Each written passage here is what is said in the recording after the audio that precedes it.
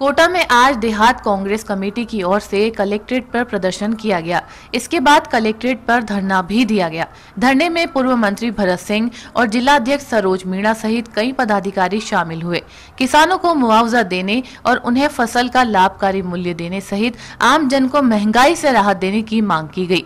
प्रदर्शन के दौरान पीएम का पुतला भी फूका और विरोध ज़ाहिर किया। पूर्व मंत्री भरत सिंह ने सरकार पर आरोप लगाते हुए कहा कि सरकार न तो आमजन की हितेशी है और न ही किसानों की। तो हम समझते जो बात करनी चाहिए वो कर नहीं रहे। झूठ बोलने में माहिर हैं। वो कह रहे हैं कि हम समर, आपके मंडी में मंडी टैक्स नहीं लेंगे। अरे मंडी टैक्स तुम ले नहीं सकते जो समर्थन मूल्य पर खरीद होती है उसके ऊपर टैक्स नहीं लगता ये नियम है।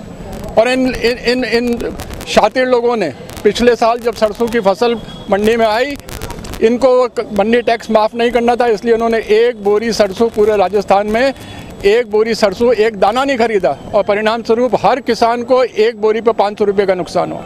और आज उड़द और मूंग पे एक हज़ार से ज़्यादा नुकसान। तो इस सरकार की जगह जो है, जिस जो जगह इस राउंड की है, शमशान में, वही इन्हीं की है। धन्यवाद।